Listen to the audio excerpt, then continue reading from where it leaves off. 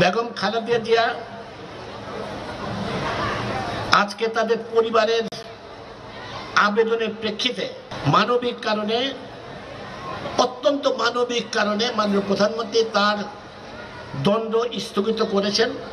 তার পরিবার আবেদন করেছে যেটা, যে বেগম খালেদা জিয়ার শারীরিক অবস্থা অত্যন্ত সংকটাপন্ন এবং গুরুতর অসুস্থ তিনি, তাই তাকে মানবিক কারণে তাকে তার মুক্তি চেয়েছেন বলেই মাননীয় প্রধানমন্ত্রী, সেই আবেদনের প্রেক্ষিতে তার সাজা দণ্ড স্থগিত রেখেছেন এবং তাকে বাসায় রাখার সুযোগ করে দিয়েছেন, বাসায় থাকার।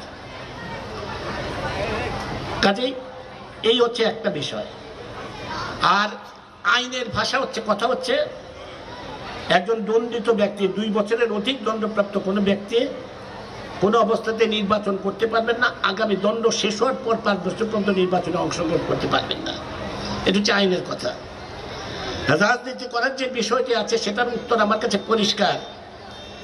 মানবিক কারণে যেহেতু তার দণ্ড স্থগিত করা হয়েছে, যেহেতু তিনি অত্যন্ত সংকট সংকটাপন্ন শারীরিক অবস্থা তার এবং গুরুতর অসুস্থ।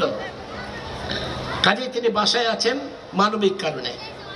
অর্থাৎ তিনি রাজনীতি যদি করার মতো যোগ্যতা, শারীরিক যোগ্যতা নিয়ে অর্জন করেন, তাহলে তাকে আবার জেলখানায় যেতে হবে। এছাড়া বিকল্প কোনো পথ নাই।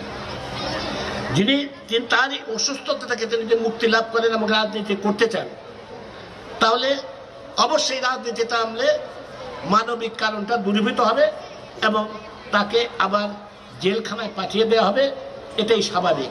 আবার জেলখানায় গিয়ে মানবিক কারণটা দূরীভূত হলে তিনি আবার জেলখানায় যাবেন এবং আদালতের মাধ্যমে মুক্তি পেয়ে তিনি যদি আবার রাজনীতিতে নামেন, কোনো বাধা নাই।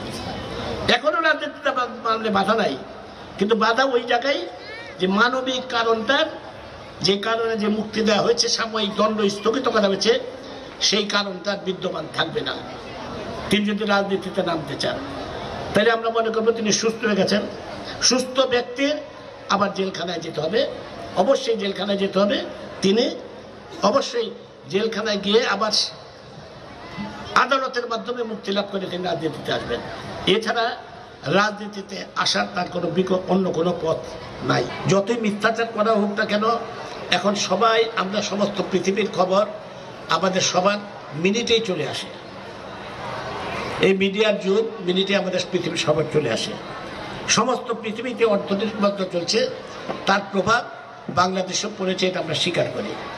কিন্তু বাংলাদেশের মানুষ এসেও বিশ্বাস, এটাও বিশ্বাস করে এই অবস্থা থেকে মাননীয় প্রধানমন্ত্রী যেভাবে পদক্ষেপ নিচ্ছেন, পরিকল্পনা মাফিক যেভাবে এগিয়ে যাচ্ছেন, দেশকে এগিয়ে নেওয়ার জন্য। আজকে যারা মিথ্যা কথা বলে, মানুষের বিভ্রান্ত করে, তাদেরকে আমরা ঘৃণা করব। এরা দেশকে পিছনের দিকে নিয়ে যেতে চায়।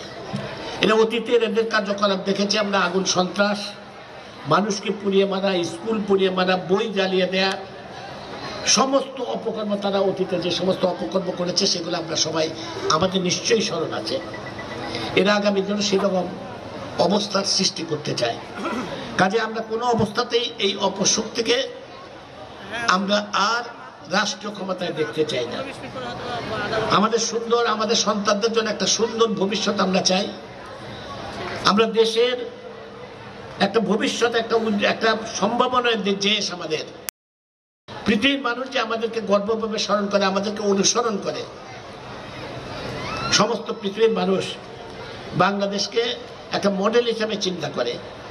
সেই বাংলাদেশ আবার এই অপশক্তির হাতে পরে পিছিয়ে যাবে, এটা আমরা কোনো অবস্থাতেই হতে দেব না। বাংলাদেশের এগিয়ে নিয়ে যাব বাংলাদেশ ভবিষ্যতে বাংলাদেশ স্মার্ট বাংলাদেশ হবে।